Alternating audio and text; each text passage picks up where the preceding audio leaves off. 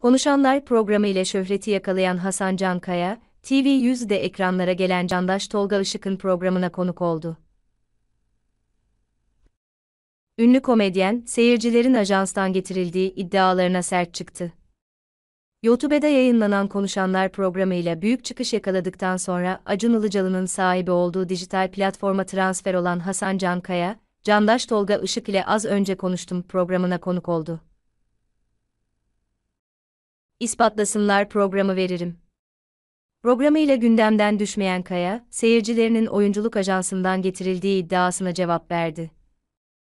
Konuşanlara katılan herkesin gerçek seyircisi olduğunu söyleyen Hasan Cankaya, şu ifadeleri kullandı. Seyircilerimin bırak just olmasını bir kişi de çıkıp, Hasan Can'ın ekibinden bana şu cümleyi dedirttiler, desin ben programımı veririm. 100. bölümü çektik. O cümleyi o cevabı nasıl verdi, diyenler oluyor. Benim zaten işim bu. Bu herkesin yapamayacağı bir durum. Bizim işimizde hep bir hile arama var. Eleştirmek isteyen her zaman bir şey bulur zaten. Rehavete kipi yayılmak beni bitirebilir. Ünlü komedyen, Candaş Tolga Işık'ın sansür kaygısı var mı sorusuna da yanıt verdi. Genç isim, kaygının sonu yok ama yaşamamaya çalışıyorum.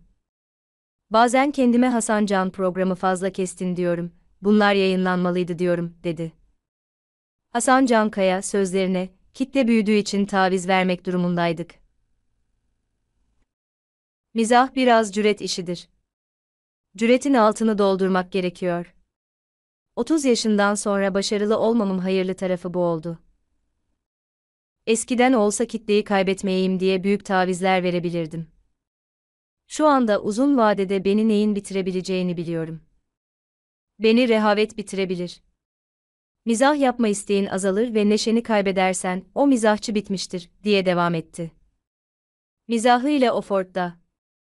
Öte yandan Hasan Cankaya, geçtiğimiz haftalarda da Oxford Üniversitesi'nden davet almış, evrensel mizah konulu özel bir söyleşi gerçekleştirmişti.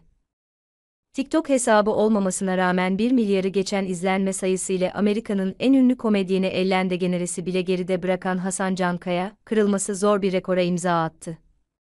Özel hayatıyla da gündemde. Stand-up gösterisiyle adından sıkça söz ettiren 31 yaşındaki komedyen, 2.5 yıldır yönetmeni Sultan San, 39, ile aşk yaşıyordu. İkili geçtiğimiz aylarda sürpriz şekilde ayrılık kararı almıştı. Hasan Cankaya, karşılıklı aldığımız bir karar. Arka planda özel bir neden yok. İş ilişkimiz eskisi gibi devam edecek açıklamasında bulunmuştu.